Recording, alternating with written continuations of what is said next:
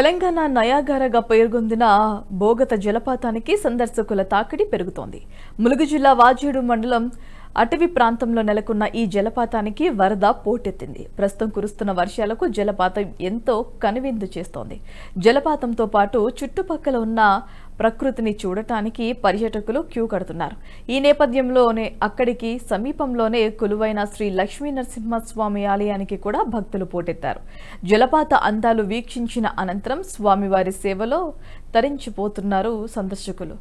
చీకుపల్లి నుంచి సుమారు ఎనిమిది కిలోమీటర్ల దూరంలో ఉన్న కోయవీరాంపురంలో కొలువుదీరిన ఈ లక్ష్మీ నరసింహస్వామి ఆలయంలో అదే గ్రామానికి చెందిన రామ్ అనే మహిళ స్వామివారికి నిత్యం పూజలు చేస్తోంది.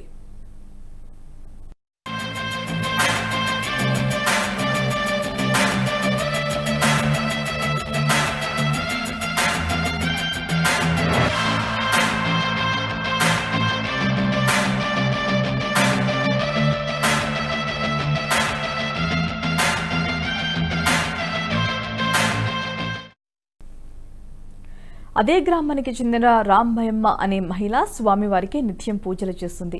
ఈ కోయవీరాపురం లక్ష్మీ లక్ష్మీ నరసింహస్వామి ఆలయానికి ఓ చరిత్ర ఉంది.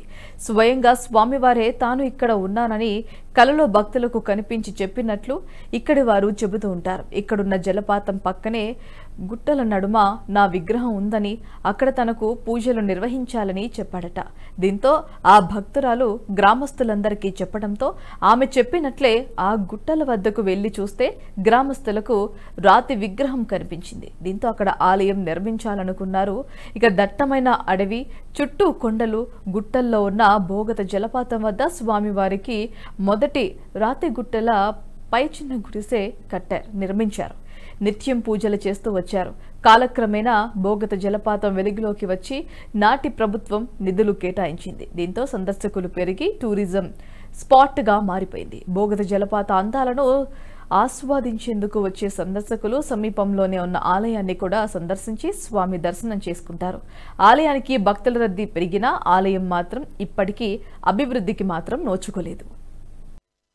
ములుగు జిల్లా వాజేడు మండలంలోని బొగత జలపాతం వద్దనే నరసింహస్వామి క్షేత్రం అయితే ఉంది. ప్రతి ఆదివారం ఇక్కడికి వేలాది మంది భక్తులు వస్తూ ఉంటారు. మామూలు రోజుల్లో అయితే విహారయాత్రికులు సంఖ్య కొంత తక్కువగా ఉన్నప్పటికీ సెలవు దినాల్లో రద్దీ ఎక్కువగా ఉంటుంది. ఆదివారం కావడంతో మొత్తంగా కూడా బొగత జలపాతం వద్ద అలాగే నరసింహస్వామి వారిని దర్శించుకునేందుకు భక్తులు విహారయాత్రికులు అటువైపు భక్తులు బొగత జలపాతంకు పోటెత్తారు. అటువైపు వివిధ దేవుళ్ళ మాలలు దర్శినట్టు దర్శించినటువంటి భక్తులు కూడా సైతం ఈ నరసింహ నరసింహస్వామి సన్నిధిలో పూజలు చేసుకుంటారు. అధిక సంఖ్యలో భగ- స్వామివారిని దర్శించుకునేందుకు భక్తులైతే భక్తులు అయితే వస్తుంటారు ఇదే ఇక్కడ నిత్యం భక్తుల కోలాహలం ఉంటుందంటున్న ఇక్కడ ఆలయ సిబ్బందిని మరిన్ని విషయాలు అడిగి తెలుసుకునే ప్రయత్నం చేద్దాం. ఆ ఆలయంలో ప్రథమ పూజారి రాంబయ్యమ్మ గారు ఉన్నారు మనతో పాటు. ఆ స్వామివారి ఆలయం ఎప్పుడు ప్రతిష్టాపించారు సో ఆలయం యొక్క ప్రసిద్ధి ఏమిటి? జలపాతం పక్కనే ఉన్నటువంటి ఆలయానికి గల ప్రసిద్ధి ఏంటి? దాని పూర్తి వివరాలైతే తెలుసుకునే ప్రయత్నం చేద్దాం. అమ్మ స్వామివారిని ఇక్కడ ఉన్నారని చెప్పని మీ ఇక్కడ ప్రతిష్టాపించాలనే ఆలోచన ఎవరు ఎలా వచ్చింది? ఎవరు స్థాపించారు? ఎప్పటి నుంచి పూజలు చేస్తున్నారు మీరు? అమ్మ నేను రెండు వేల ఒకటి నుంచి స్వామివారు ఇక్కడ నాకు ఒక సంకల్పన వచ్చింది. స్వామివారు ఉన్నట్టు సంకల్పన వస్తే అప్పుడు నేను ఇక్కడ పూజలు చేయటం మొదలు పెట్టాను ఆ పూజలు చేయటం మొదలు పెట్టాను. ఇక్కడ భక్తులు రావటం జరిగింది. ఇక్కడ భజనలు చేయటము దేవుడికి కళ్యాణం చేయటము నేను అన్ని రెండు వేల ఒకటి నుంచి నేను పన్నెండు సంవత్సరాల వరకు నేను ఈ రకంగా క- కళ్యాణం చేయటం పూజలు చేయటము ఇక్కడ జనాలకి మాలలు వేయటము ఈ బాటలు చేయటం అన్నీ చేయటం జరుగుతూ ఉంటాయి తర్వాత ఫారెస్ట్ వాళ్ళు వచ్చి ఇక ఇక్కడ ఇది వాటర్ ఫాల్స్ మాదని చెప్పి వాళ్ళు పక్కన నేను డెవలప్ చేస్తామని చెప్పి మాట తీసుకున్నారు. పర్వాలేదని చెప్పి అప్పటి సంది వాళ్ళు డెవలప్ చేయడానికి డెవలప్ చేశారు. చేశారు. ఇప్పుడు అన్నీ బాగానే నడుస్తున్నాయి. పర్వాలేదు వాళ్ళు డెవలప్ చేశారు. జనాలు అప్పటి సందే ఈ రెండు వేల ఒకటి నుంచి నేను పన్నెండు సంవత్సరాల వరకు చేశాను. అప్పటి నుంచి జనాలు రాలేదు. తర్వాత నేను ఇక్కడ పూజలు మొదలు పెట్టడమే జనాలు పెరిగారు. ఇప్పుడు వాటర్ ఫాల్స్ అని డెవలప్ మంచిగా ఆనందంగా ఇక్కడ వస్తున్నారు చేస్తున్నారు. కాకపోతే అప్పటి సంది చేస్తున్నాము. ఇదే మాకు గుడి. ఈ గుడి మొత్తం దాతలతోటి వాళ్ళు మంచిగా ఇక్కడ మొక్కుకొని వెళ్తున్నారు. ఆ దాతలే సహకారాలు మాకు ఆ సంతోషాలు చూపించారు. గుళ్ళు మేము అందరి సాయం తీసుకొని గుడి కట్టాను. ఈ గుళ్ళ ఎప్పుడు నేను పూజారిగా ఇక్కడ ఆయనకు దాతగా నేను కళ్యాణం చేసుకుంటా అన్నదాతం కూడా చేసుడు చేసుడు జరుగుతున్నది ఇక్కడ. అలాగే స్వామివారికి గల ప్రసిద్ధి అంటే చెప్తూ ఉంటారు కదా పక్కనే ఉన్నటువంటి గ్రామాల నుంచి తీసుకొచ్చామని చెప్పిన ఒక నానుడు ఉంది. స్వామివారి అసలు విగ్రహ ప్రతిష్ట ఎలా జరిగింది ఇక్కడ? చాలా బాగా జరిగింది. అప్పుడు కళ్యాణం ఎండాకాలం మే నెల మూడో ఇరవై మూడా? ఇరవై మూడో తారీఖుకు కళ్యాణం చేస్తున్నాము. స్వామివారిని ఊర్లోకి వెళ్ళి తీసుకురావటం. కోయవీరాపురం నుంచి తీసుకొచ్చి ఇక్కడ చక్కగా సంతోషంగా ఈ ఈ- చుట్టుపక్కల ఊర్లంతా వచ్చి చక్కగా సంతోషంగా చేయగలుగుతున్నారు. అయ్యగారిని పెట్టి ఇక్కడ పూజలు చేస్తూ ఉన్నాం కళ్యాణం చేస్తున్నాము మళ్ళీ ఇక్కడి నుంచి మళ్ళీ వీరాపురానికి తీసుకుపోవటం జరుగుతుంది. అలాగే మనతో పాటు సాయి గారు ఉన్నారు. ఇక్కడ స్వామివారికి నిత్య పూజలు చేస్తూ ఉంటారు. ఆయన కూడా పూర్తి వివరాలు తెలుసుకునే ప్రయత్నం చేద్దాం. స్వామి సాయి గారు ఏంటి మీకు స్వామివారికి నిత్య పూజలు చేస్తున్నారు మీకు సంకల్పం ఏంటి? స్వామివారు మీకు ఏమైనా సంకల్పించారు? అలాగే అదేవిధంగా ఇక్కడికి భక్తుల తాకిడి ఎలా ఉంది? జై శ్రీమన్నారాయణ. ఇక్కడ స్వామివారు రెండు వేల ఒకటిలో వెలుగులోకి రావడం జరిగిందంటే ఎలా జరిగిందయ్యా అంటే ఇక్కడ మాతగారు ఉన్నారు రాంబాయమ్మ గారు. ఆ అమ్మగారి ఒంటి మీదకి స్వామివారు ఉగ్రరూపకంగా వచ్చి నేను పలానా చోట ఉన్నానయ్యా మమ్మల్ని తీసుకురండి వెలుగులోకి తీసుకొచ్చి ఇక్కడ తీసుకురండి అని చెప్పి గుట్ట మీదకి తీసుకురావడం జరిగింది. రెండు వేల ఒకటిలో స్వా మాత మీదకి వచ్చాక ఆ ఉగ్రరూపకంగా ఇక్కడికి తీసుకొని వచ్చి స్వామివారు ఇక్కడ ఉన్నారని చూపించిన తర్వాతనే ఈ గుట్ట ప్రాంతం అంతా స్వామివారు కూడా వెలుగులోకి రావడం జరిగింది. రెండు వేల ఒకటి. రెండు వేల ఒకటి నుంచి ఇప్పటికీ దాదాపు చాలా సంవత్సరాల నుంచి ఇక్కడ పూజా కార్యక్రమాలు చేస్తున్నాం.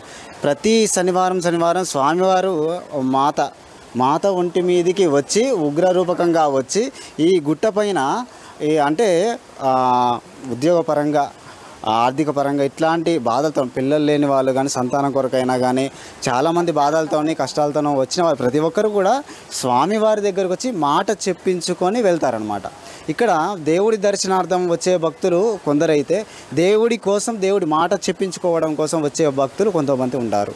అంట బాధలతో వచ్చిన వాళ్ళు స్వామివారి దగ్గరికి వస్తారు వచ్చి మాట చెప్పించుకొని వెళ్తారు. కానీ రెండు వేల ఒకటి నుంచి మాత ద్వారాగా ఈ స్వామివారు అనే నరసింహస్వామి గారు స్వయంగా అంటే బండకు ఆయన స్వయంభూగా ఉన్నాడు కాబట్టి ఆయన్ని వెలుగులోకి తీసుకొచ్చింది మాత. అంటే దేవుడమ్మ రాంబాయమ్మ గారు వెలుగులోకి తీసుకొని రావడం జరిగింది. ఇది ఒక సంకల్పం ద్వారాగా ఇది ఈయన అంటే రెండు వేల ఒకటి నుంచి వెలుగులోకి వచ్చాడు స్వామి తీసుకురావడం ద్వారా. ఆయన సంకల్పం ఏంటంటే లోకమంతటికి నేను ఉన్నాను లోకాన్ని అందరికీ నేను అందరినీ పిలుచుకుంటాను అని చెప్పి స్వామివారు చెప్పడం జరిగింది. రెండు వేల పదిహేనులో అక్కడ గోదావరి మీద బ్రిడ్జి పడింది. ఏది? పూసూరు బ్రిడ్జి ఏటు నాగరం అని అంటారు. ఆ బ్రిడ్జి పడిన తర్వాత లోకాన్నంత అందరినీ ప్రపంచంలో ఉన్న ప్రతి ఒక్కరిని కూడా పిలుచుకుంటున్నారు. ప్రతి ఒక్కరు కూడా ఆయన పిల్లలే ఆయన భక్తులు ఆయన కొడుకులు ఆయన సంతానమే. కాకపోతే నేనున్నాను ఇక్కడ నన్ను కూడా చూడండి అని చెప్పి ఆయన ఆయన ఆయన చూయించుకుంటున్నాడు అంటే మనం చూసే భాగ్యం మనకు ఆయన కలగజేస్తున్నాడు కాబట్టి మనం అందరం ధన్యులంగా భావించాలి. ఇది మొత్తంగా కూడా బొగతా జలపాతం సీకుపల్లి ప్రాంతంలో ఉన్నటువంటి బొగతా జలపాతం సమీపంలో ఉన్నటువంటి కుండలపై వెలిసిన శ్రీ లక్ష్మీ నరసింహస్వామి వారి ప్రసిద్ధి చెందినటువంటి మొత్తం చరిత్ర. మొత్తంగా కోయ వీరాపురం నుంచి స్వామివారిని ఇక్కడ ప్రసిద్ధి ప్రతిష్ఠేపించారు అదేవిధంగా మొత్తంగా కూడా ప్రతినిత్యం నిత్య పూజలు చేస్తూ ఉంటామని చెప్పని చెప్తున్నారు. ఇక్కడికి వచ్చిన భక్తులు కొంగు బంగారంగా కొలుస్తూ ఉంటారు స్వామివారిని. అలాగే ఆయన ఏ కోరిక కోరినప్పటికీ వారికి సంతానం కావచ్చు లేదంటే ఉద్యోగం కావచ్చు నిరుద్యోగులు కావచ్చు విద్య విద్యార్థులు కావచ్చు ఎవరికైనా సరే మొత్తంగా కూడా తన భక్తులు తనను కోరు తనను కావాలని వచ్చిన వారికి వారి కోరికలను తీర్చే విధంగా స్వామివారు వారికి ప్రసన్నం అవుతూ ఉంటారని చెప్తున్నారు.